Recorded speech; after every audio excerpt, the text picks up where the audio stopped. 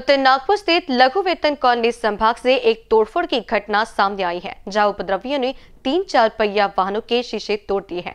Police ने आशंका जताई है कि नशे में धुत बदमाशी यह उपद्रव मचा रहे हैं। पिछले महीने बदमाशों ने लघु वेतन कॉलोनी इलाके के विजय कस्बे की कार का शीशा तोड़ दिया था। साथ ही उपद्रवियों ने शेंडे के घर के शीशे भी तोड़ दिए। अब बार बार गाड़ियों के शीशे तोड़े जाने के बाद इलाके के नागरिकों में डर का माहौल बन गया है। इसी बीच घटना की जानकारी मिलने पर जरीपटका पुलिस की टीम ने घटना स्थल का दौरा किया और पंचनामा किया। घर के सामने खड़े चार पहिया वाहन जिनमें किसी को कोई बाधा नहीं पहुँचती, उनके शीशे तोड़ने का क्या कारण है? ऐसा सवाल अब कॉलोनी के निवासियों के सामने आ रहा है। जहाँ पीड़ित मिलिंद भोयर, भूषण रामटेके मुन्ना सवाईथुल आदि ने मांग की है कि पुलिस को इस तरह का अत्याचार करने वाले कुख्यातों पर नकेल कसनी चाहिए। टूटे शीशे वाली गाड़ियाँ लघु वेतन कॉलोनी के अलग अलग हिस्सों की है। गाड़ियों की खिड़कियों पर पत्थर फेंक कर नुकसान पहुँचा गया है। उपद्रवियों ने कॉलोनी में चार पहिया वाहनों के शीशे तोड़कर उन्हें क्षतिग्रस्त कर दिया, जिसके चलते अध्यक्ष महेंद्र राउत,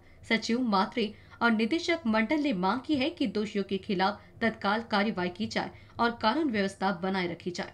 इस संबंध में पुलिस को निवेदन दिया गया है। कैमरा पर्सन अखिलेश भारद्वाज के साथ मनीष टेमरे की रिपोर्ट।